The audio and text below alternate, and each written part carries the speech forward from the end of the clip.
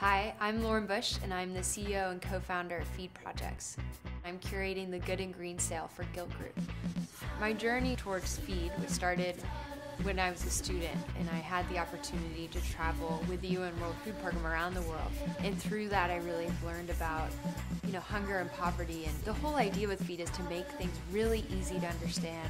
So each of our products has a number on it, which signifies the, the impact your purchase is going to have. By this, it's going to do exactly this. It's going to feed one child school for a year. it's going to give 25 school meals.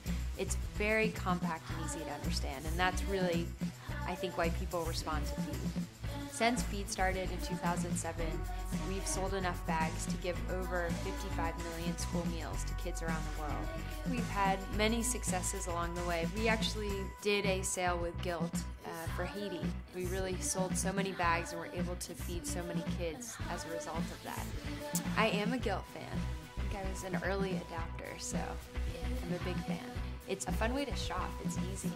It's so wonderful to work with Gilt because they have such a great reach and such a great customer base, and we're really going to be able to reach so many different people with products that are good and green. But I definitely don't think my work is done yet, and there's much more to be done.